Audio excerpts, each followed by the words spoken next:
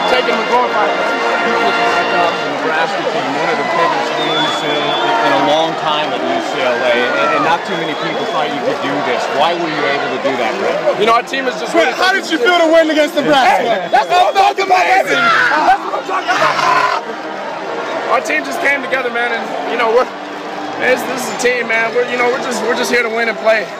That's our main focus, like I said, and we just got to play and keep getting better every week. Did you you talked about the defense? Did that they only held Nebraska kept them to three points? Did, like, offensively, did you guys feed off that? Oh yeah, for sure. I think the defense did an amazing job. Like I said, we feed off each other. One person make big plays, we all you know we all come back. We just gotta gotta make plays off each other. You know, everybody did what they needed to do tonight. We came out with the win. What do you think this victory means for this evening? It's not, it just means you know we just gotta keep playing, keep playing and getting better. This is just the start. This is just the start.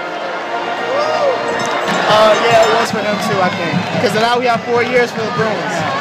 All right, great. Thanks very much. Devin, you, you guys were five point underdogs, man. Talk about coming in and just was that sort of fuel for you guys coming out here? Yeah, we were just hungry. We wanted to be great, and we were going to do whatever it was to prove everyone wrong. We we saw, we saw the uh, ESPN analysts, all of them doubt us, and that just put more fuel in our fire. And we're hungry to be great. We're going to keep doing what we're doing. What does it mean for this program to beat Nebraska second game of coaching career? It means a lot. We're tr- like I said, we're trying to be great, and we put a lot into this season. We've been focusing on this game for a long time, and we're just happy that we were blessed with opportunity and we made the most of it.